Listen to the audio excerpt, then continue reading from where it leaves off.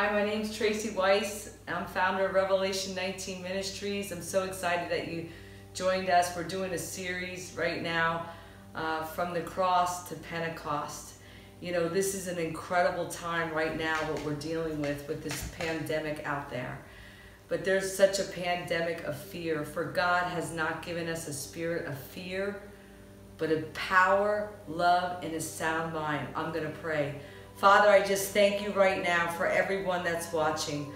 I just pray, Holy Spirit, that you come right through the screen right now and you touch the hearts. Open up the hearts and touch the hearts of those that are weary, fearful, need your strength, your love, your peace, your supernatural presence. I pray right now in the name of Jesus that you just do a miracle right now that they can go out to rev19.org and tell us all about it.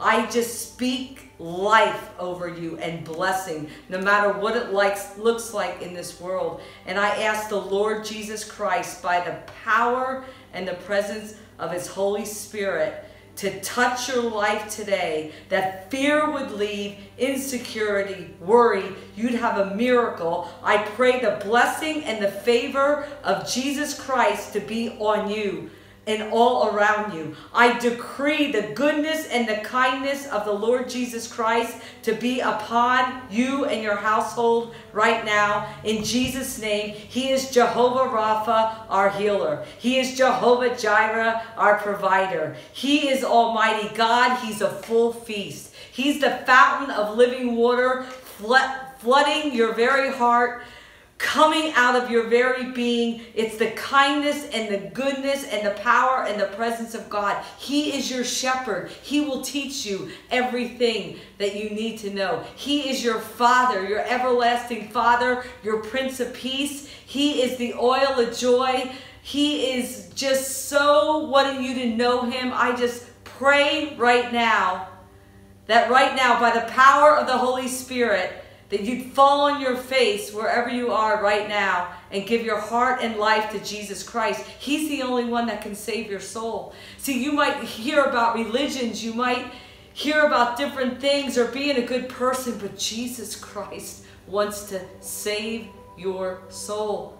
Not only does he want to save your soul, he wants to come and live inside of your heart. He wants to be the Lord and the Savior of your life, but he wants to change you from the inside out. He wants you to be so focused on spiritual things that you can make a difference here on this earth for yourself and others around you. God says that He's given us every spiritual blessing and He wants to fill you with the pleasures and the treasures of the kingdom of God. So I just pray right now for the power of God to touch you, touch your children, and, I, I command right now in the name of Jesus, in the authority of the name he's given every believer, that weariness, disappointment, and frustration would go.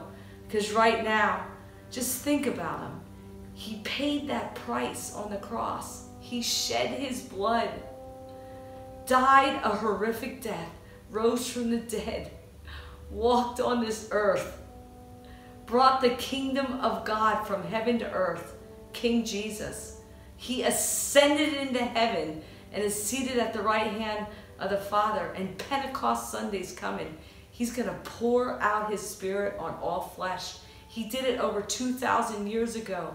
And everybody that's hungry and thirsty for a change in your life, this spiritual life that we have in Christ is beyond the time I even have in this video to tell you how he changes us from the inside out, how he forgives us, how he takes away abuse, uh, resentment, regret, shame, and guilt, and all these things that the enemy, Satan, the father of lies, speaks to our mind. The Bible says we have to take every thought captive to obedience to Christ Jesus. That's what he tells us. Take every thought captive. Our minds can run wild if we don't take a hold of what we're going to think at, think about. Every single thing that we think about, we empower. If you want to empower things, bad things, and think on those things, that's exactly what will be empowered in your very being. Your soul is your will, mind, and emotions. You want the emotions that's going on right now in your life to just be pushed away. Just leave those crazy emotions, and you want to have the fruit of the Spirit, God's peace and joy over your life. I just pray that somebody out there today, you know, uh, hits reset on that prayer and believe that God wants to touch your body, touch your heart, save your soul. And if you're a believer out there, go deeper with God. This is a time to go deeper with Him. It says in 1 Corinthians 1 that Christ has been made the wisdom and the power of God. There is something that's so incredibly beautiful in the supernatural presence and power of God that He fully manifests Himself. I want you to hear this about Jesus. After He did all that, ascended to heaven, poured out His Spirit on the day of Pentecost. He's, this is what it says in Colossians 1:19 to 23. For it pleased the Father that in Him all the fullness should dwell. In Jesus, all the fullness of the Godhead would dwell in him, and by him to reconcile all things to himself. It says, by him, whether things on earth or things in heaven, having made peace through the blood of the cross. We have peace with God. The wrath of God has been satisfied in Jesus Christ when he shed his blood. When sin entered this world and came through Adam and Eve, God had a solution. His name's Jesus Christ. He came to break the power of sin. John 1:29 says, "It's the Lamb of God that came to take away the sin of this world. Lying, hate, that's all of the enemy. All of it. Our names are written in the Lamb's book of life if we're a believer. But God, Jesus Christ shed his blood so we could be transformed by his glory. From glory to glory, faith to faith, from grace to grace. The Word of God has substance. The Holy Spirit in this book right here, when you read the Word of God, the Holy Spirit breathes on these pages and these words supernaturally start becoming part of your being. The Bible says in Galatians 4.19, um, it says that we will be conformed. Paul was crying out and said that he couldn't wait for us to be conformed. Be conformed in his image. Be formed in Christ. Christ, we are gonna, we are going to look like him when we see him face to face someday. He has a glorious body. We have, we're going to have a glorious body. You might be out there, uh, you know, just having some bad times. Maybe you don't have your, lost your job or, you know, there's been sickness and disease or there's something crazy going on in your household. God is real. I want people to turn to God and away from whatever is going on. Turn to Him. He is real. When I was diagnosed with leukemia in 2003, I just want to say, I cried out to God and said, Are you really real? And my room filled up with light and glory and the presence. And I just got a death report the day before of dying of leukemia. I called out with all my heart, if you're really real, come in this room. You can say the same prayer if you really want to meet him. His presence was real, but the Word of God has been non-stop encounters for 17 years. Having the Word of God strengthen me, bring me into the saving knowledge of Jesus Christ, knowing Him, the riches of who He is, and sharing Him with others. You know, not only did God come and and set me free from the powers of darkness, sin, and, and the lies that are in this world. I want to tell you the lies that are there. Satan is, is running rampant around lying to people. But I want to tell you right now that Revelation 12 11, it says, We overcome Satan by the blood of the Lamb, the word of our testimony, and we don't even love our own life even unto death. It's that we know that no matter what happens to us right now on this earth, I want you to know it's going to be billions of years forever with Jesus Christ in a new heaven and a new earth. There's going to be a thousand years of millennium. Jesus Christ is going to come back on a white horse with a sword coming out of his mouth, the sword of the Spirit. It's the Word of God with the Holy Spirit written, the Word of God written, but the Holy Spirit, the Word of God, the living Christ breathing on these words.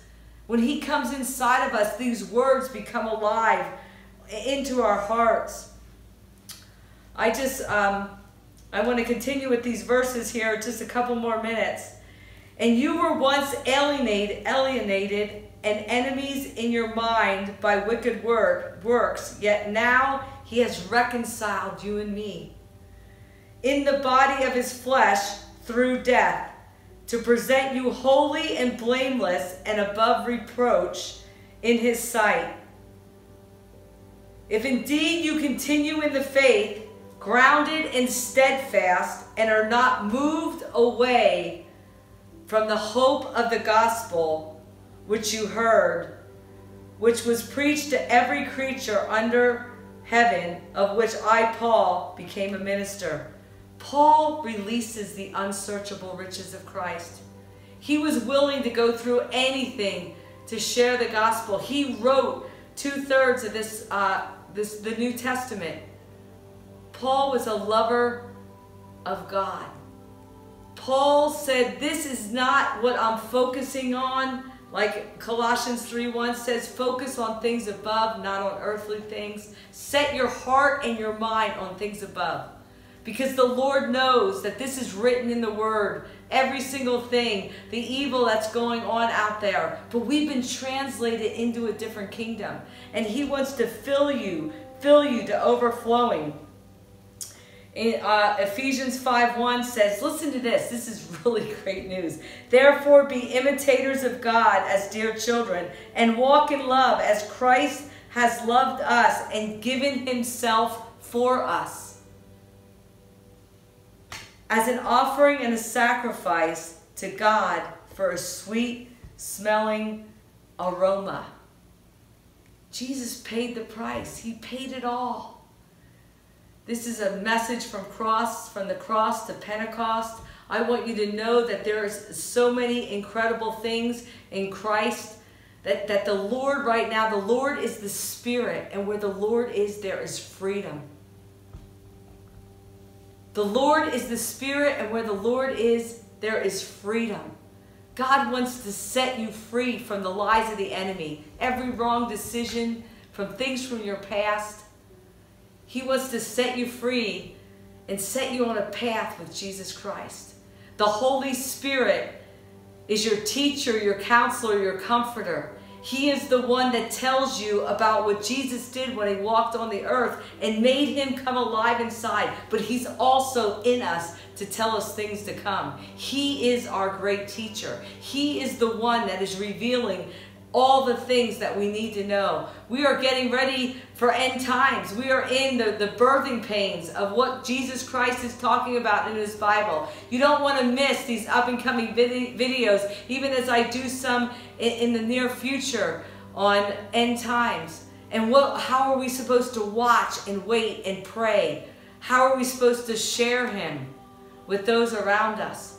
We depend on the power of the Holy Spirit. When you get born again and he comes to live inside of you, you now have all the power that raised Jesus Christ from the dead living inside of you. He will change the way you think. He will bring you into such ecstasy of such great love. His love manifests. His power manifests. You got to yield to the Holy Spirit. Get hungry for the Word of God. Give Him your heart and life. Be still and know He's God. We love you here at Revelation 19 Ministries. Go out to rev19.org. Uh, we love you. Thank you for supporting us. Be blessed. In Jesus' name, amen.